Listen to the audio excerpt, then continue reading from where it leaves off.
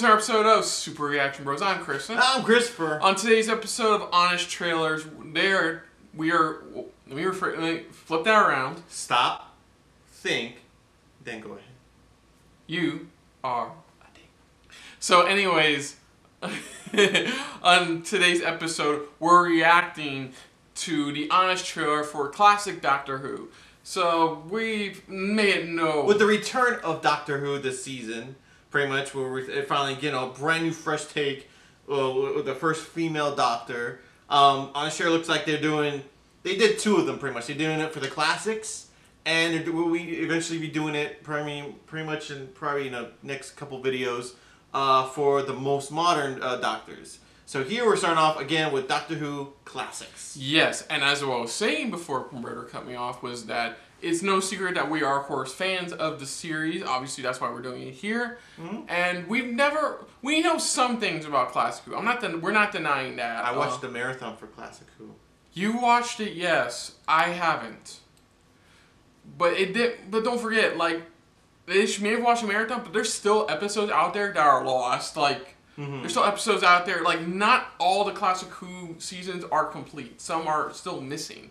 Like yeah. the last time I heard, they found five more last year. I think. Yeah, they still they're still finding more and more as time goes by. Pretty much, they keep uh, finding it and reviving it back up. Pretty much. And mean, what doesn't help is your show premiered the same day as the JFK assassination. Yeah, it did, and uh, but either which way at the same time, it's like it's it's progressed and gotten better over over the years, pretty much. I mean, I saw where why it started dwindling pretty much because of production costs, things like that. That's why certain yeah. even in the classic Who they had them stuck on Earth. So it made production costs so much easier. Yeah, that was they, they, yeah that's where they got to a point where they that was budget cost. Originally, yeah, the show started off as like a educational show.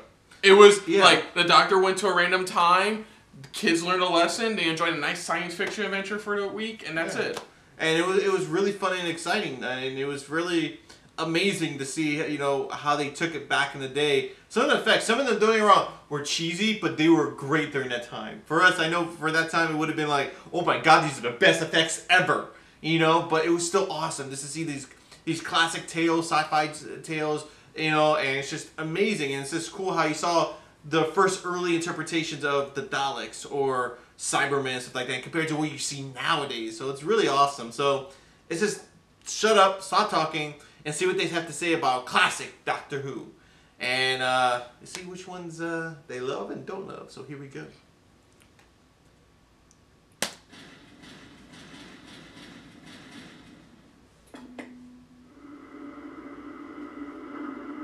You know his name. I'm the Doctor. You know his face. sis, And you know his mission. Always search for truth.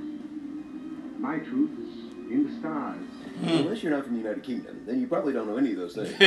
now, relive over 30 years of classic sci-fi television that will determine once and for all if you're a fan of Doctor Who or a Doctor Who fan. yeah. Classic Doctor Who. Meet the Doctor, a Time Lord from the planet Gallifrey, who travels through space-time in a machine called the TARDIS. And if that's already too weird for you, tap out now, because it's about to get a whole lot Yeah, I got trippy. of the cheetah people, intelligent carnivores.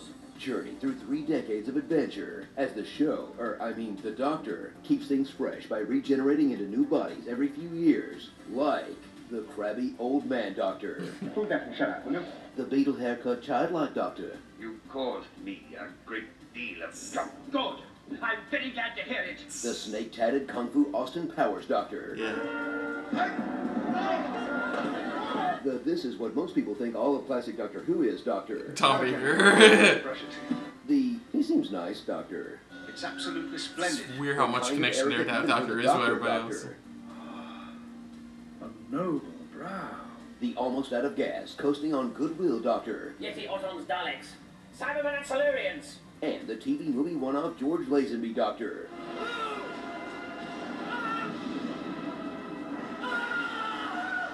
But no okay, you definitely didn't see that one. The TARDIS, one thing remains mm-hmm. constant. I watched the 90s He's either the most overrated or underrated Doctor of all time in either the most overrated or underrated era of the show.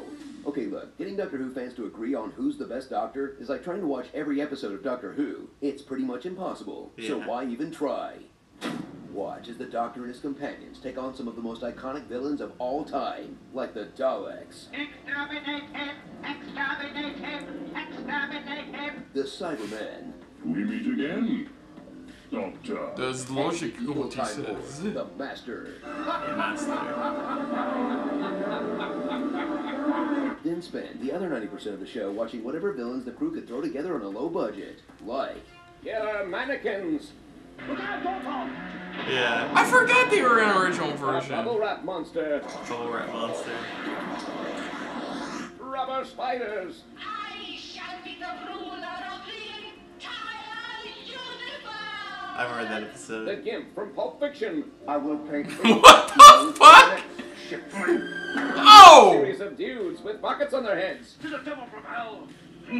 The inflatable plastic chair of doom! What? What? Even there, yeah, when I watched, I was like, what the fuck? some villains that it sounds like they're just making up on the spot. They're demons from the planet Deimos. Watch them face off in stories serialized across three, four, six, or even ten episodes, jam-packed with enough plot to fill maybe two. We know that owls are able to live on this earth, and that they must have found immunity. Perhaps it is a drug. Is it failing them now? Oh god. Come on, Whovians. Even you have to admit, this show is very deliberately drawn out. Yes. Deliberately drawn It's the out. paradox that is classic Doctor Who, a show that's both timeless and completely out of date. What you need is a jolly good smack bottom. Thrill as it seems to predict future phenomena like the Matrix, Goth must have his own link with the Matrix. the Borg, resistance This is where it got original. Stephen King, I shall have to go to the Dark Tower. and B-Movie, According to classical aerodynamics, it's impossible for a bumblebee to fly. while also being completely inappropriate for modern times. Odd thing, I could swear he was a Chinese. And I feel no pain. Oh god damn. Gutter scrapings of Shanghai. Oh. Matrix. And that's just from the episode The Talons of Weng-Chiang. I understand. Oh! Oh god. Wow. So if you Yeah, like I said TV the same thing. I was you like, can wait, easily no. kick back and watch on Netflix, then definitely don't start watching Doctor Who. I am confused. As this completionist nightmare will send you scrambling to find episodes that the BBC erased decades ago by hunting down dozens of DVD box sets, animated recreations, and audio I haven't even finished watching while you secretly pray that all of it just magically turns up like those episodes from Africa. But if you do somehow make it through all 26 series, specials, and TV movies, then answer me this. Why do Doctor Who fans get so angry every time people call him Doctor Who? I'm the doctor. I keep telling you that. When that's what the show called Yeah. him for 18 years. They did. years. They did. They did. did. Understand? They I, call- I knew you wouldn't. Never mind. Starring easily defeated Daleks, They became a lot more difficult to beat In the modern ones, yeah. How did he blow? Slow. Yeah, oh my god.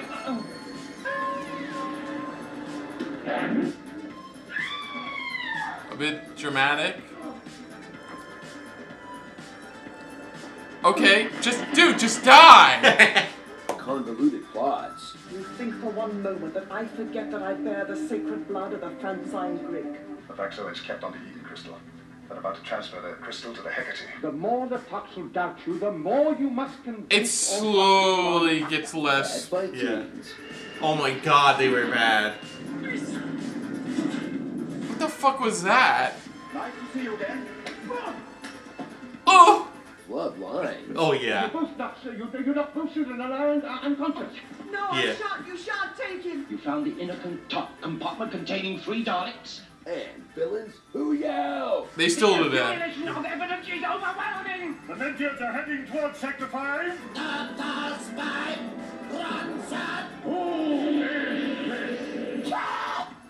Oh my god, that one. Oh my god. Ew, it's like a shit alien monster. received! Exterminate all humans! Daleks prove my point. They still yell. Okay, okay. I'll Okay, do we get it. I'll listen to the Big Finish audio plays. I'll watch K-9 and Company. Just make it stop. make it stop. Stop. Inspector Spacetime. Yeah, Yeah. community joke. So the sonic screwdriver, that's basically just a fancy door opener, right? It's In a the lot. beginning, that's what it was. Yep, that's what I thought.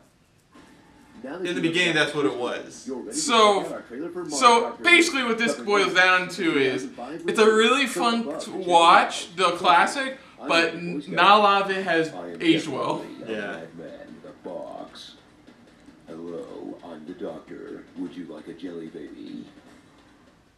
Jelly babies aren't actually not that bad. No, yeah, but, Um, but but that's how it was. Even when I was watching the marathon of it, even there are times when I'm sitting going, "Oh my god, this is so fucking cheesy," but I don't want to look away because I want to see what happens next. yeah, honestly, it's just it's just it's not fact all of it aged well. There's a lot of good in there, but it's not a lot of it is aged well. No, it hasn't. It hasn't, and that's why I said. Holy crap! That racist fucking episode. Oh yeah, when I watched that episode, I was sitting there going, "Hold up, they could not hire an actual Asian?